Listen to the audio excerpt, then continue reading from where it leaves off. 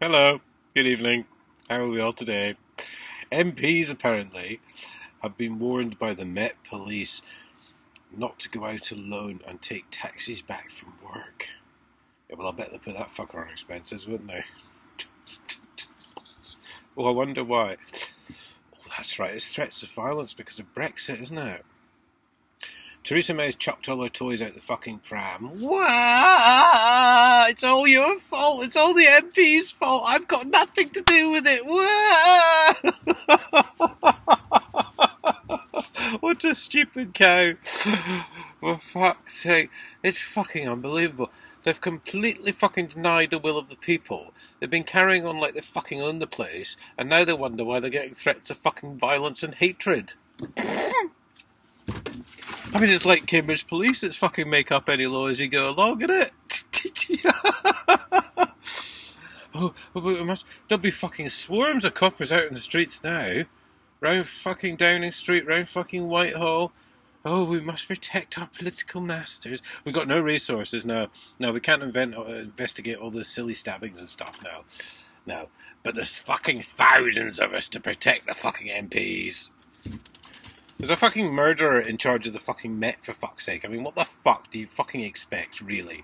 Listen, I'm not trying to patronise anyone, but people look up. They look at what the people in power are doing and they imitate.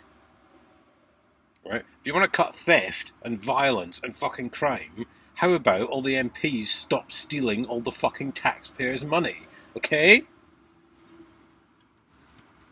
fuck's I mean, we had the fucking expenses scandal. What did they do? They set up IPSA, the Independent Parli- Parliamentary Standards Authority. And they had to agree with whatever the IPSA decided as to their pay. And luckily, fucking luckily, it goes up every fucking year.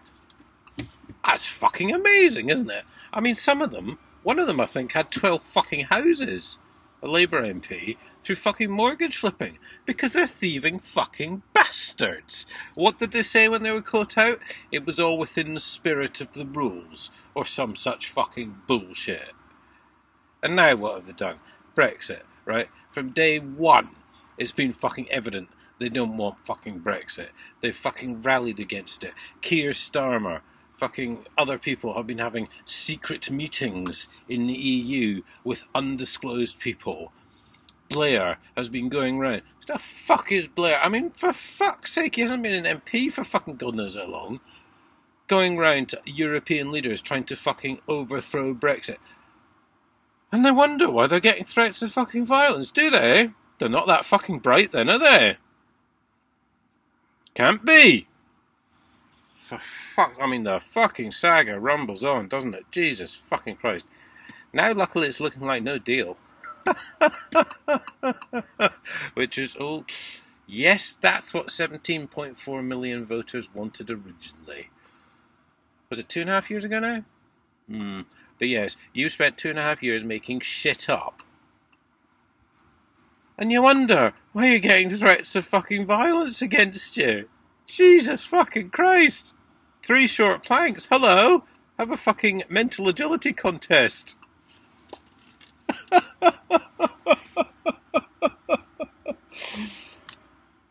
what a bunch of fucking dipshits. Seriously, just fucking burn the House of Commons down. The fucking scum, the whole fucking lot of them. They're vile, thieving, fuckface wanker, fucking kiddie fiddling, thieving bastards. Seriously. And they're protected by their bent fucking police mates. Oh, you should have known you're being arrested because you got in the back of a marked police vehicle with uniformed officers present. Well, fuck you, Inspector Paul Rogerson. I'm going to have you sent to jail for 20 fucking years. What do you think of that, you fucking wanker?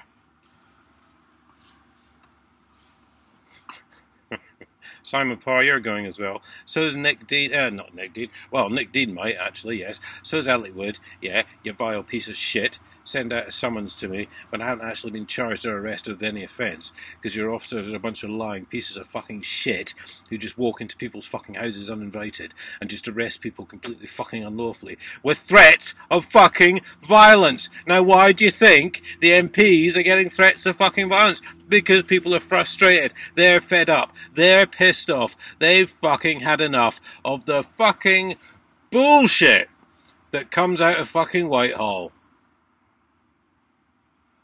Liars, thieves, insidious little fucking shits. You covered up Grenfell. You covered up Rotherham. You covered up fucking Hillsborough. You covered up the shooting of fucking Jean Charles de Menezes. Many, many hundreds of others probably who have died either during an arrest or in police custody completely fucking unlawfully because they were fucking murdered. And do you wonder why the fucking people are fucking pissed off? Do you, really, you stupid bunch of heathen fucking incestuous fucking little shits?